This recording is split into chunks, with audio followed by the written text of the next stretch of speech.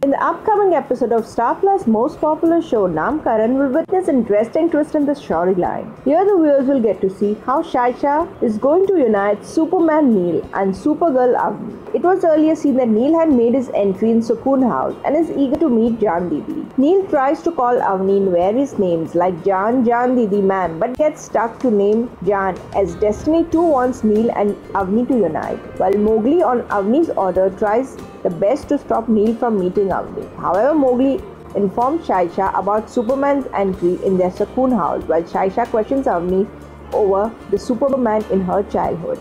Saisha has not been yet seen Neil and she wants to see Neil before her and the entire past story which will unfold before Saisha. Viewers will thus get to see Saisha uniting Superman Neil and her angel come Supergirl Avni once again. Let's wait and watch for this interesting twist to unfold soon on the show. So what do you feel about this?